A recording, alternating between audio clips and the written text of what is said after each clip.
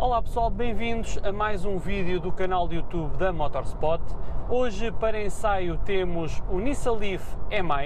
e esta é a versão mais potente e com mais autonomia disponibilizada para o Nissan Leaf. Hoje, durante o nosso ensaio, vamos ficar a conhecer este carro e tentar perceber se este modelo que já foi lançado em 2017 ainda tem argumentos suficientes para fazer frente aos novos modelos elétricos que têm surgido no nosso mercado. Por isso mesmo, fica por aí e fica a conhecer o Nissan Leaf aqui nesta versão é mais. Se ainda não subscreveste o nosso canal, considera em subscrever e clicar na campainha para ativar as notificações para receberes uma notificação sempre que lançarmos um novo vídeo no nosso canal. Por isso mesmo, fica desse lado e fica a conhecer o Nissan Leaf é mais.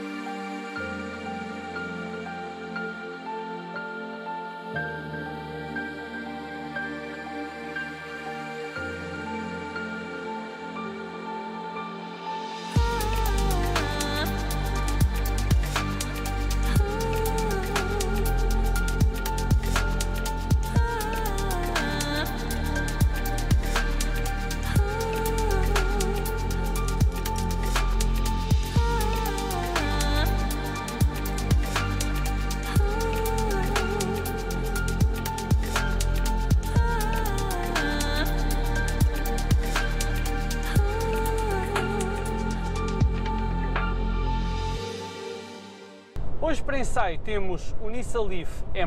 Esta é a segunda geração do Leaf, foi lançado em 2017 e como é óbvio, em aqui alguns aspectos, já se nota o peso da idade. Pois se antigamente não havia praticamente carro elétrico nenhum no nosso mercado e aqui este Leaf estava para o carro elétrico como o Prius estava para o carro híbrido, onde nós pensávamos em carro elétrico e um dos primeiros modelos que nos vinha à cabeça era aqui o Leaf, hoje em dia as coisas já não são bem assim e praticamente todas as marcas têm pelo menos um modelo 100% elétrico, o que torna aqui a vida a este Leaf muito mais difícil no momento de captar novos clientes e conseguir convencer o cliente a adquirir este Leaf em detrimento de outro modelo. No entanto, alguma coisa a Nissan ainda está a fazer bem, pois aqui o Leaf mantém-se como sendo um dos carros elétricos mais vendidos na Europa e também aqui no nosso mercado em Portugal. Começando a analisar este carro de fora para dentro, este carro tem um design muito mais consensual do que a primeira geração do Leaf. A primeira geração tinha um ar assim muito arredondado, muito estranho, muito fora da caixa, mas na altura em que eles foram lançados, todos os carros elétricos híbridos tinham que ter assim um design diferente para se destacarem, mas aqui esta segunda geração do Leaf já tem um design muito mais em linha com a restante gama da Nissan. Por exemplo, a parte da frente eu acho muito parecido com a geração anterior do Qashqai, que está agora em fim de vida. A parte traseira eu acho muito parecida, por exemplo, com o Nissan Micra, as linhas das óticas, e acaba por ser um carro que nós olhamos para ele e até tem agrado visual, não é um daqueles carros que nós olhamos para ele tem um impacto negativo visualmente. Este carro é um hatchback, por isso este carro também se assume como um carro com pretensões familiares e isso nota-se aqui na parte de dentro, no espaço habitável. Na parte da bagageira, a capacidade está em linha com qualquer hatchback do nosso mercado, mesmo sendo modelos com motor a combustão, que não têm as baterias na parte de baixo da bagageira, que acaba por ocupar aqui algum espaço, e aqui este Leaf acaba por oferecer aqui um espaço de bagageira em linha com a concorrência. No entanto, nesta versão que estamos a ensaiar, tem ali um sistema da Bose que tem um subwoofer colocado no chão da mala, que está ali colocado numa posição muito estranha e acaba por roubar ali alguma praticalidade e espaço de carga. Pois se nós quisermos colocar ali uma bagagem de maiores dimensões, não a conseguimos pôr certo e vai ficar sempre assim meio de lado, fica ali numa posição um bocado estranha. Acho que a Nissan podia ter colocado aquele subwoofer noutro sítio que não fosse tão intrusivo do ponto de vista de praticalidade. Mas ainda assim, conseguimos rebater os bancos, aumentando assim o espaço de carga e tornando este carro mais prático, caso queiramos transportar ali uma prancha de surf,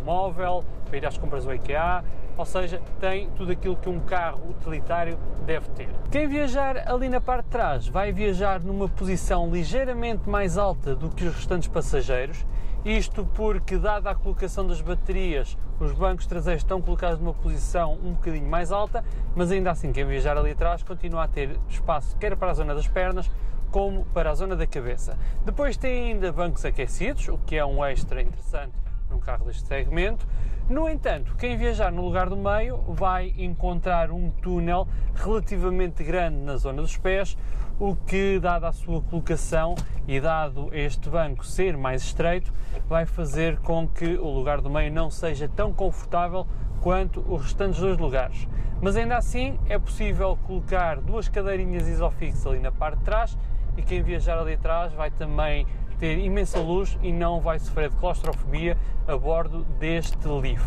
No entanto, se vocês estão a pensar comprar um Nissan Leaf, é porque vocês vão se sentar aqui neste lugar, no lugar de condutor. E aqui podem encontrar um lugar confortável, os bancos têm apoio suficiente, quer na zona lombar como aqui na zona das pernas, vamos bem sentados. A posição de condução é um bocadinho alta, confesso, que eu estava à espera aqui de encontrar uma posição de condução se calhar um bocadinho mais baixa, mas ainda assim vamos aqui bem sentados. Depois o próprio volante tem um bom toque, é de pele, depois tem aqui estas costuras aqui em azul, os botões estão todos muito bem dispostos aqui no volante e percebemos exatamente o que é que temos que fazer aqui com este volante. O único calcanhar daqueles aqui é mesmo o facto deste volante não ter regulação em profundidade e apenas ter regulação em altura. Eu acho que é um erro crasso por parte da Nissan, acho que é um erro que não devia ter acontecido e pode pôr aqui em causa uh, a posição de condução em pessoas de menor estatura, de forma a conseguir atingir os pedais e conduzir de forma mais cómoda. Ainda assim, é um erro básico, é um erro que a Nissan não devia ter cometido aqui no interior deste carro. No que toca à qualidade dos materiais, aqui na zona do tablier encontramos materiais almofadados ou pelo menos esponjosos só aqui nesta zona intermédia. Na parte superior temos plásticos um pouco mais duros, mas eles não têm qualquer tipo de flexão e parecem estar construídos de forma muito sólida, o que revela aqui uma excelente qualidade de construção no interior deste Nissan Leaf. Depois, em termos de tecnologia, temos um painel digital já aqui na nossa frente que vai mostrando algumas informações sobre a condução. São informações, eh, embora que básicas, são essenciais. Ele vai mostrando aqui apenas as informações necessárias sobre as baterias, sobre os consumos, ajudas à condução. Depois ele tem uma qualidade de imagem bastante boa, mesmo com a imensa luz a incidir, conseguimos ver perfeitamente as informações que são mostradas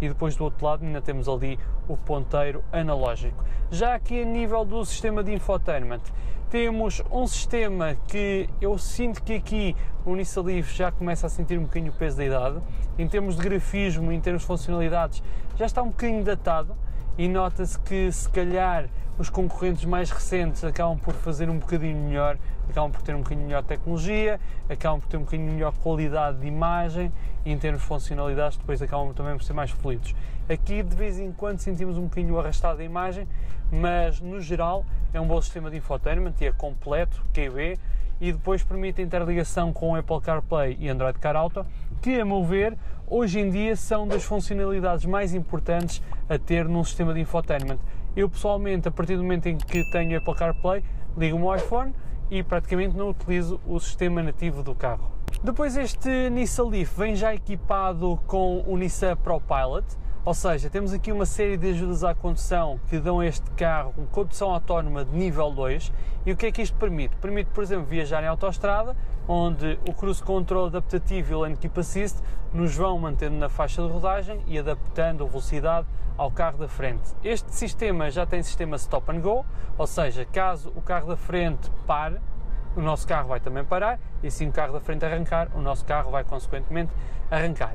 Para mim, a feature mais interessante deste carro acaba mesmo por ser aqui o e-pedal e isto faz com que nós consigamos conduzir este Nissan Leaf apenas utilizando um pedal. E em que é que consiste isto? Basicamente, nós conseguimos travar o carro sem sequer carregar no travão. Eu sei que falo nisto em quase todos os ensaios que fazemos a carros híbridos ou carros elétricos, em que nós tentamos sempre fazer aqui uma condução com pedal, mas a verdade é que foi em 2017 o Nissan Leaf tornou esta funcionalidade famosa e que a introduziu aqui no nosso mercado e no nosso dia a dia. E depois todas as outras marcas foram atrás, mas realmente aqui neste Nissan Leaf este modo é muito eficiente e realmente todos os carros elétricos que eu testei é aquele em que nós realmente conseguimos conduzir o carro apenas utilizando um pedal e levá-lo mesmo à imobilização total, onde nós mal largamos o acelerador, o carro trava logo e leva mesmo o carro a parar completamente. Depois, em termos de regeneração da bateria,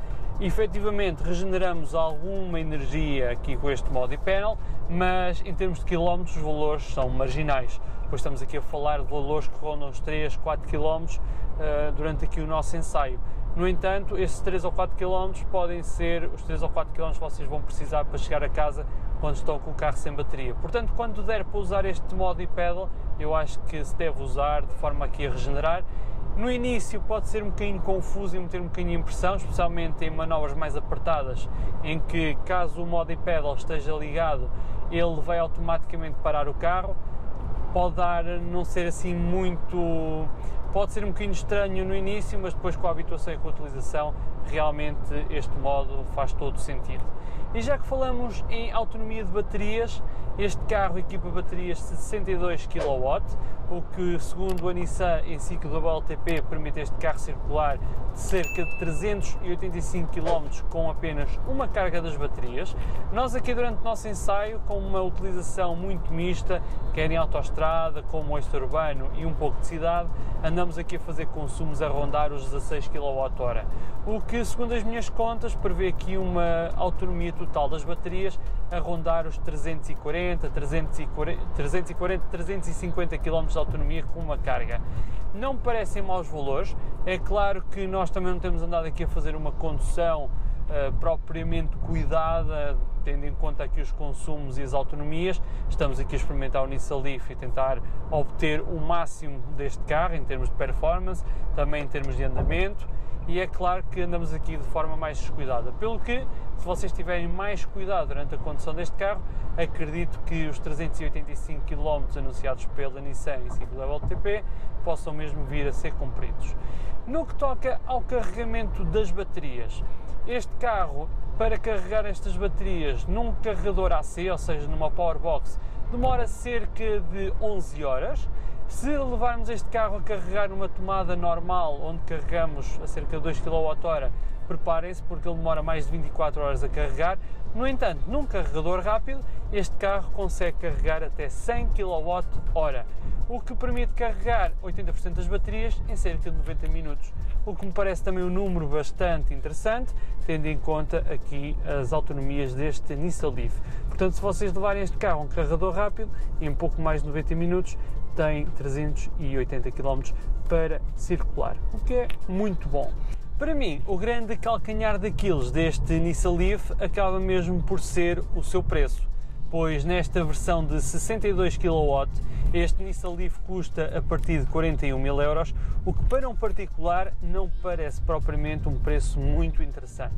No entanto, a Nissan está a comemorar o décimo aniversário aqui do Leaf e está com umas promoções muito agressivas, pois um carro que normalmente custa 41 mil euros, vocês agora conseguem comprar por cerca de 35 mil euros, o que é uma redução no preço muito, mas muito interessante. Caso vocês tenham uma empresa, vocês podem comprar este carro, fazer a dedução do IVA e dado o preço deste carro ainda conseguem buscar os descontos de frotista, o que aproximam o preço desta versão eh, de 62 kW para perto dos 32, 33 mil euros, o que também é um preço muito competitivo tendo em conta a maior parte dos concorrentes. O que faz o preço deste Nissan Leaf um preço muito bom, quer para particulares como para empresas. Mas se vocês não quiserem gastar tanto e quiserem comprar um carro um bocadinho menos potente e com menos autonomia, podem sempre optar pelas versões de 40 kW e essas aí já as encontram a partir de 24 mil euros, que é também um preço muito bom, tendo em conta tudo isto que o Nissan Leaf vos oferece. Resumindo, aqui com estas promoções de décimo aniversário, caso vocês estejam a pensar em comprar o Nissan Leaf, aproveitem porque realmente tem descontos muito bons. No que toca à dinâmica de condução, eu já referi que este carro é o Nissan Leaf mais potente feito até hoje, tem 218 cavalos e permitem levar este carro do 0 ao 100 em cerca de 7 segundos e acelerar até uma velocidade máxima de 158 km/h, limitada eletronicamente. Claro que se compararmos com alguns dos seus concorrentes, este carro acaba por não ser tão rápido, no que toca a velocidade de ponta, mas o objetivo deste carro não é ser rápido, mas sim ter o máximo de autonomia, daí essa limitação eletrónica. É claro que nos Teslas vocês têm velocidades que atingem os 200 e tal km hora, mas aqui neste livro o propósito é ter mais autonomia, chegar mais longe e não chegar lá de forma tão rápida.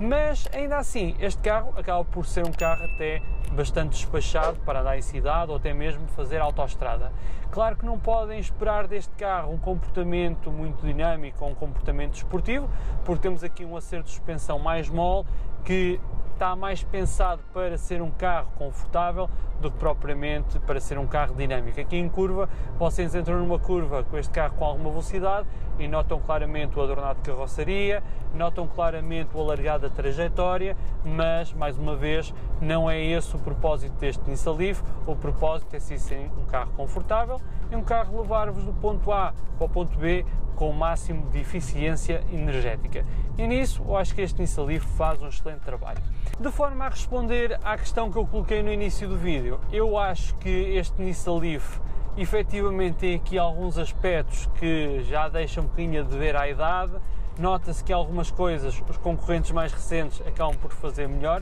o que é perfeitamente normal, mas ainda assim este Nissan Leaf que já tem cerca de 4 anos de mercado, continua a ter argumentos mais do que válidos para ser considerada uma solução caso você esteja à procura de um carro elétrico. É um carro confortável, é um carro com boas autonomias e é um carro que agora, nestas promoções de 10 anos, tem um preço muito atrativo. Por isso mesmo, se vocês estão a pensar em comprar um carro elétrico, vale a pena ver aqui este Nissan Leaf, dar uma volta nele e sentir-lhe o pulso, porque eu acho que vão ficar surpreendidos aqui com este carro. E agora despeço-me, espero que vocês tenham gostado aqui do nosso vídeo. Se gostaram, já sabem, deixem o vosso like, subscrevam o nosso canal, deixem na caixa de comentários o que é que vocês acham aqui sobre este Nissan Leaf e sigam-nos também no nosso Instagram, no nosso Facebook e em motorspot.pt para acompanhar todas as novidades sobre o mundo automóvel. Eu agora despeço-me, pessoal, e até uma próxima.